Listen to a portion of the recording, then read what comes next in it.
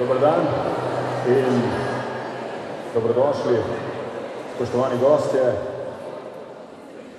cenjeni učiteljice in učitelji, predvsem pa dobrodošli, dragi osmo in devetošolci naših osnovnih šol. Eno izmed, lahko zaploskate.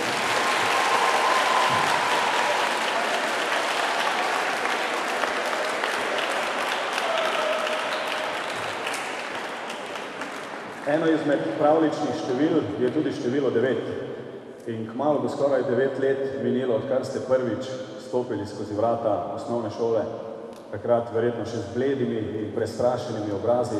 In zdaj ste kar naenkrat tu, ko nad vami že izgubljajo nadzor vaši starši in se verjetno sami še sploh ne zavedajo, da boste že kmalo samostojni. Na vse zadnje boste kmalo šli že v srednjo šolo, vsak s svojimi cilji in sanjami. Otroci odraščajo in tako ste že skoraj odrasli tudi sami. Pot, ki vas čaka, vaša nadaljna pot, je zaenkrat neznanka, a vseeno je prav, da greste po njej.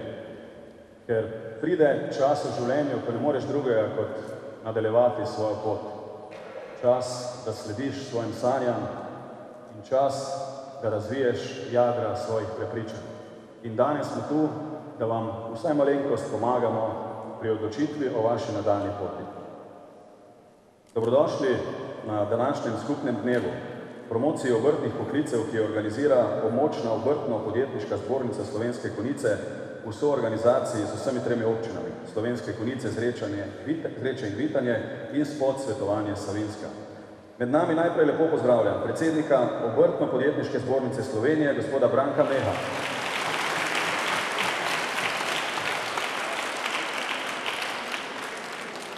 Gospo Boženo Germelder Spenšek, vodja javnih pooblastil na obrtni zbornici Slovenije.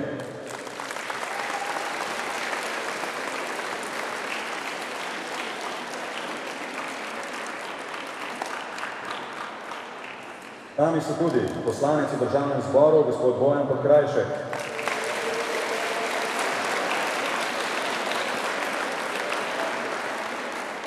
Župan občine Slovenske Konjice, gospod Miran Gorinšek.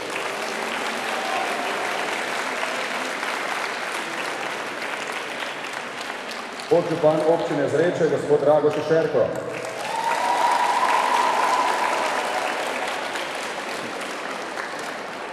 Predsednik območne obrtno-podjetniške zbornice Slovenske Konjice, gospod Marjan Borovnik.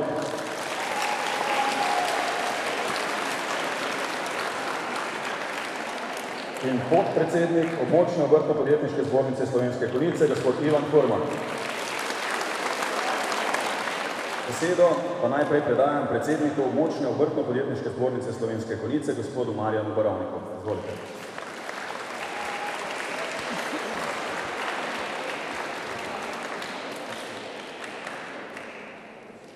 En lep dober dan in uh, spoštovani učenci osmega in devetega razreda, posebej pozdravljeni na tej naši uh, prireditvi, ki vam jo prirejamo že par let.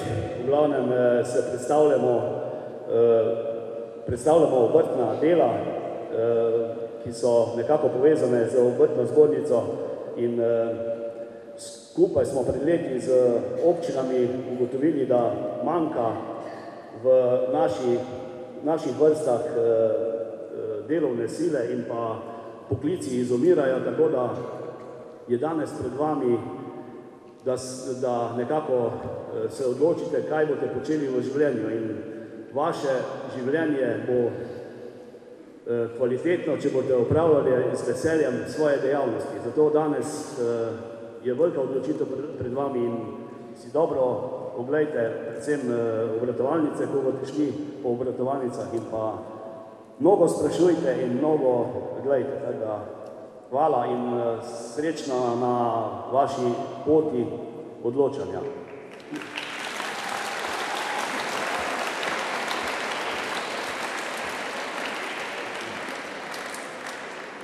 Pomembno vlogo pri poklicnem izobraževanju ima tudi obrtno-podjetniška zbornica Slovenije. Zato k besedi vabim predsednika obrtno-podjetniške zbornice Slovenije, gospoda Branka Meha.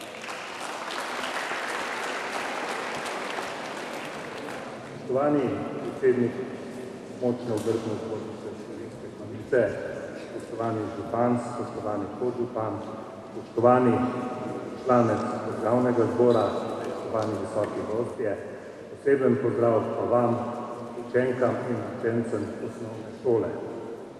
Lep pozdrav v imenu obrtno-podjetniške Slovenije. Seveda, ko zaključujete nekako devetletko, je pred vami tisto, za kar se boste morali odločiti.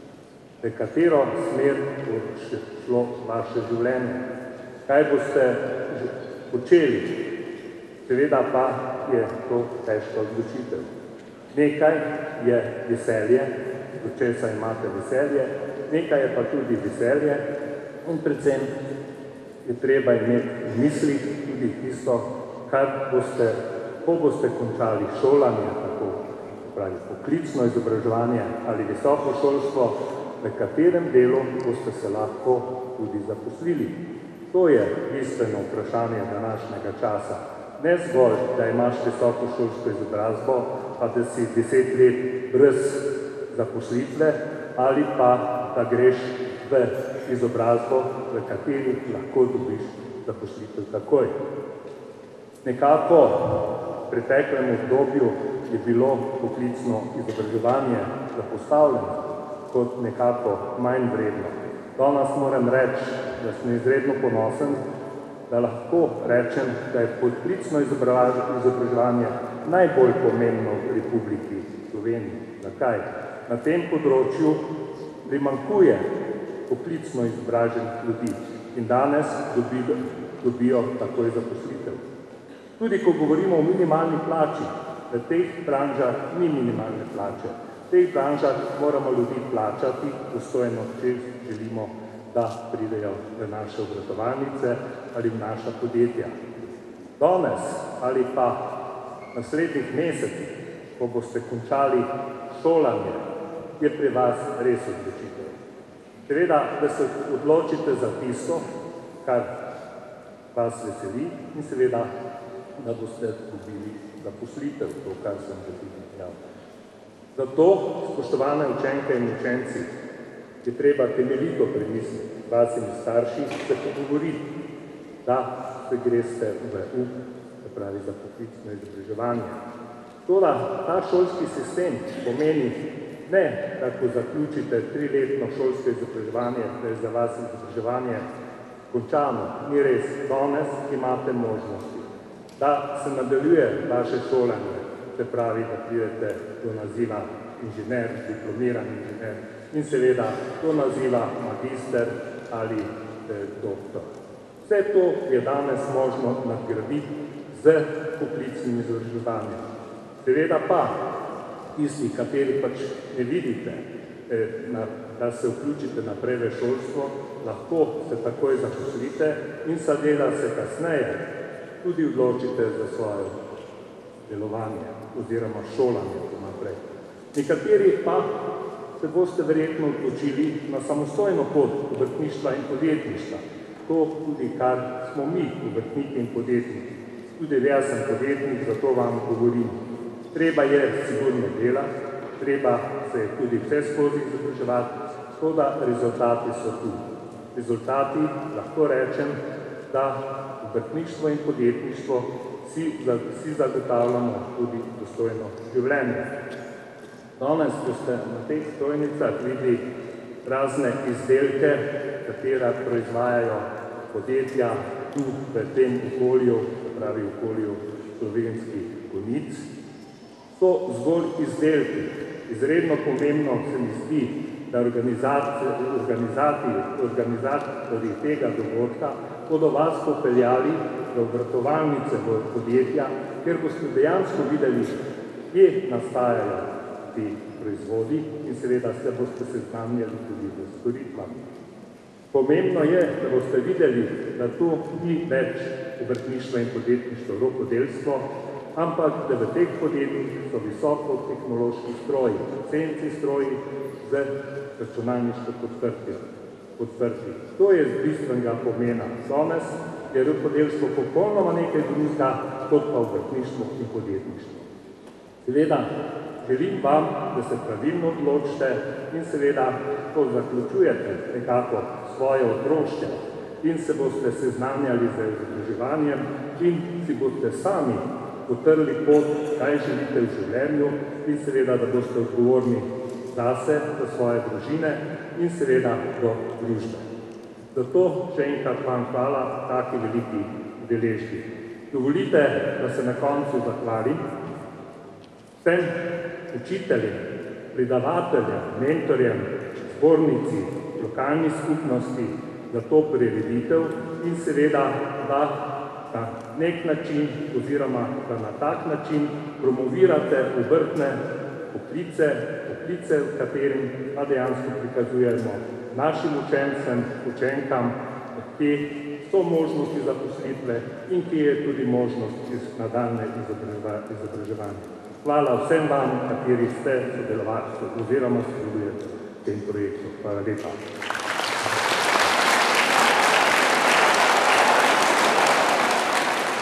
V imenu županov občin Slovenske konice Vitanje in Zreče vas bo nagovoril Miran Gorinšek, župan občine Slovenske konice.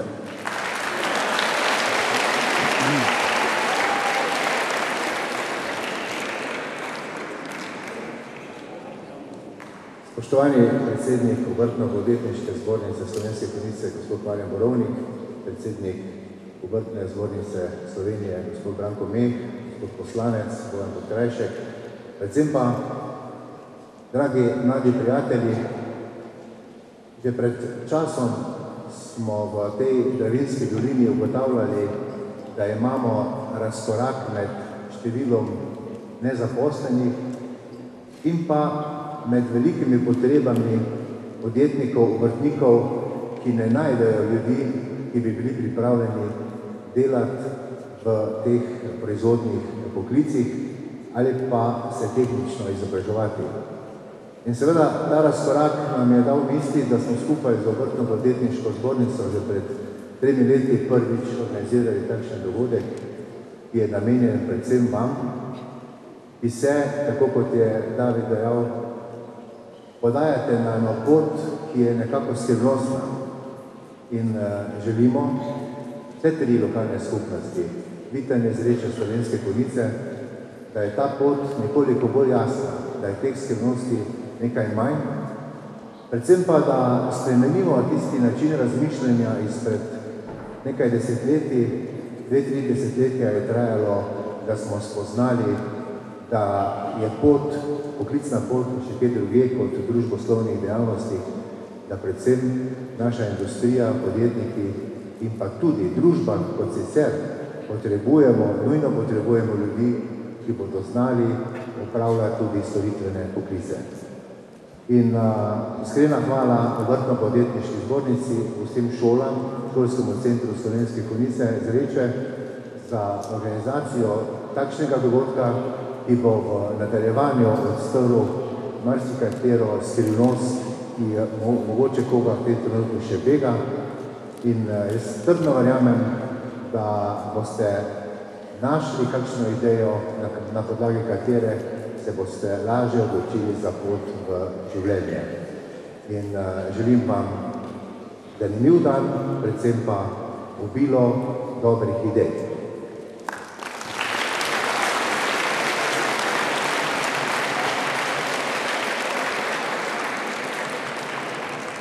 V imenu aktiva ravnateljev pa vam bo nekaj deset naklonil Peter Kos, ravnatelj osnovne šole Zreče.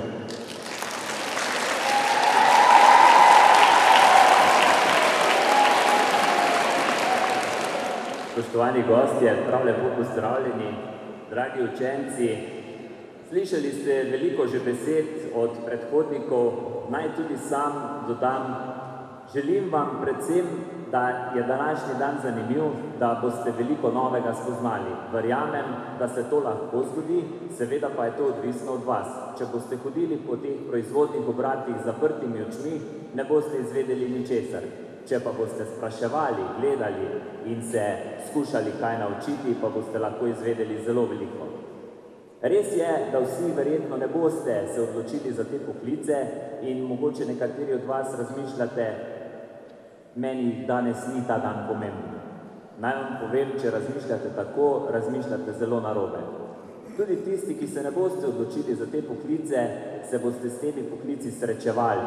Srečevali se boste s temi ljudmi, najverjetneje boste tudi sodelovali s temi ljudmi v življenju. Zaradi tega, ker v današnji družbi kot posameznik zelo težko kaj dosežeš. Če pa stopimo skupaj, pa je to lažje. Lažje pa je, če se med seboj poznamo, če vemo, kaj kdo počne, na koga se lahko obrnemo in kako nam kdo lahko pomaga. Tudi zato se mi zdi ta dan danes pomemben. Mislim, da imate srečo, srečo, da ste v tej, da živite v teh občinah oziroma v občini Zreče, občini Slovenske Konice in občini Vitanje, Ehm, kjer deluje območna obrtna zbornica Slovenske Konice, ki pripravlja to prireditev in da ima ta prireditev težo, kažejo tudi obiski visokih gostov. Tako da lahko ste res srečni, da boste lahko spoznali poklice, pogledali stvari in imeli neko novo znanje ali pa neko novo izkušnjo. Verjamem, da boste izkoristili ta dan, in da boste marca, ko se boste odločali, predvsem deveti, devetošolci, za svojo nadaljno poklicno pot, lahko z enostavnostjo obkrožili oziroma izbrali srednjo šolo, za katero se boste odločili zaradi tega, ker boste vedeli, da je to poklic, ki si ga želite, v katerem boste lahko uspešni in da boste lahko tudi v končni fazi zaslužili z njim. Tudi to je pomembno.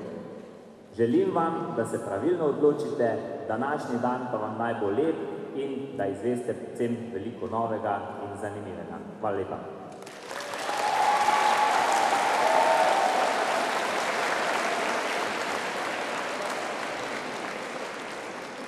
Zdaj pa torej gremo vsi skupaj k tistemu ključnemu vprašanju današnjega dne, kaj bom, ko bom velik. Če se malo pošalim, to ne pomeni, da še niste veliki, ampak vendarle, koliko ste že kaj razmišljali o tem, kako ustvariti svojo karierno pot, je šola, kamor se boste upisali, sploh del nje, je to pomembno.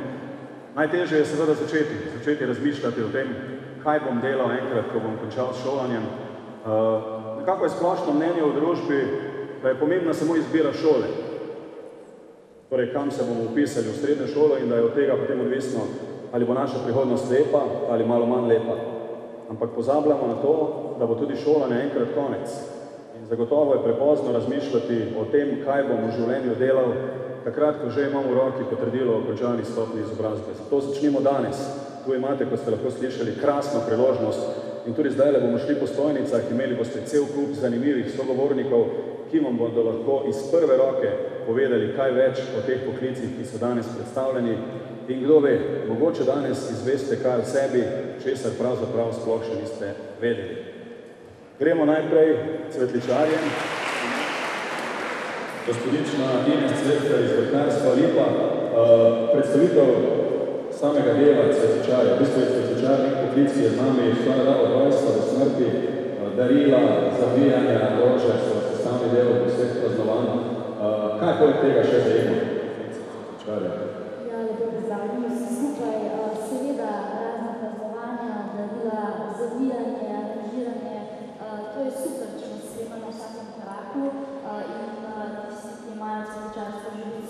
lahko počnejo. Ni pa samo to, če lahko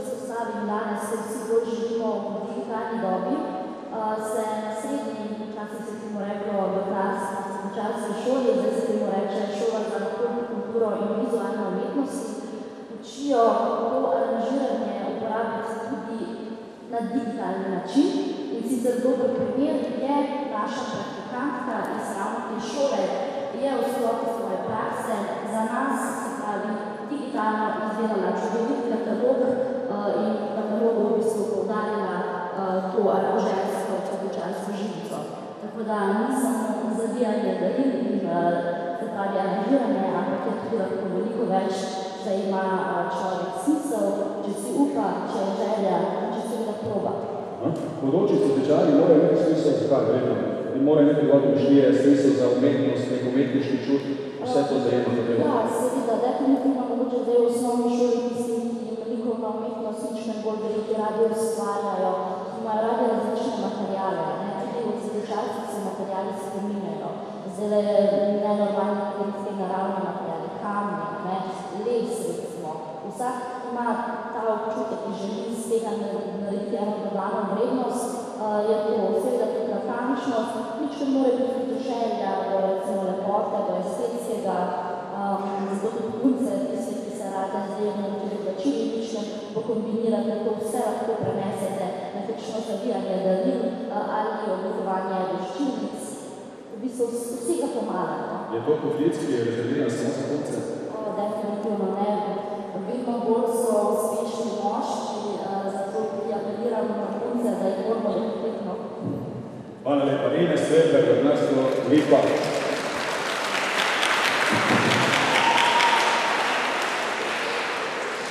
Zdaj pa se že